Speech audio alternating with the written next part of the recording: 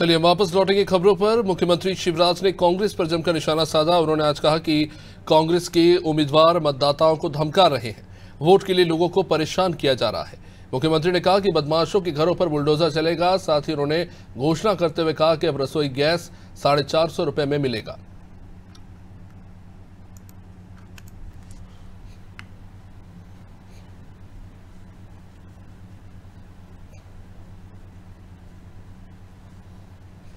मुझे पता चला है कि कांग्रेस के उम्मीदवार धमका रहे कि हमें वोट नहीं दिया?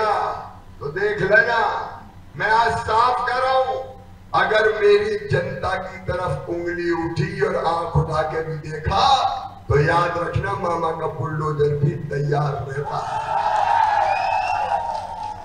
गुंडागर्दी नहीं चलेगी, दादागिरी नहीं चलेगी, गुंडे और बदमाशों को तबाह रख दूँगा, मैं ये कह के जा रहा हूँ, तबाह करके रख दूँगा। रसोई गैस के सिलेंडर साढ़े चार सौ रुपया मैं दूँगा, चिंता मत करना। और बिजली के जिनके बड़े में है कोई जगह से मुझे शिकायत प्राप्त हुई।